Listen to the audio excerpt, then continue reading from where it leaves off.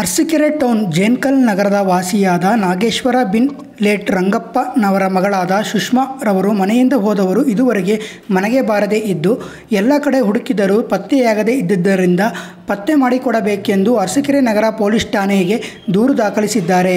ದೂರು ಪ್ರಕರಣವನ್ನು ದಾಖಲಿಸಿ ಪೊಲೀಸರು ತನಿಖೆ ಕೈಗೊಂಡಿದ್ದಾರೆ. ಕಾಣೆಯಾದವರ ಚಹರೆ ಗುರುತು ಸುಷ್ಮಾ ಎನ್ ಇಪ್ಪತ್ತಾರು ವರ್ಷ ನಾಲ್ಕು ಪಾಯಿಂಟ್ ಎಂಟು ಅಡಿ ಎತ್ತರ ಸಾಧಾರಣ ಮೈಕಟ್ಟು ಕೋಳುಮುಖ ಕನ್ನಡ ಭಾಷೆ ಬಲ್ಲವರಾಗಿದ್ದು, ಮನೆಯಿಂದ ಹೋಗುವಾಗ ಕಪ್ಪು ಬಣ್ಣದ ಲೆಗ್ಗಿನ್ ಪ್ಯಾಂಟ್ ಪ್ಯಾಂಟ್ ಧರಿಸಿದ್ದು, ಸುಳಿವು ಸಿಕ್ಕಿದ್ದಲ್ಲಿ ದೂರವಾಣಿ ಸಂಖ್ಯೆ ಸೊನ್ನೆ ಎಂಟು ಒಂದು ಏಳು ನಾಲ್ಕು ಎರಡು ಮೂರು ಎರಡು ಎರಡು ಮೂರು ಮೂರಿಗೆ ಸಂಪರ್ಕಿಸಲು ತಿಳಿಯಪಡಿಸಿದೆ.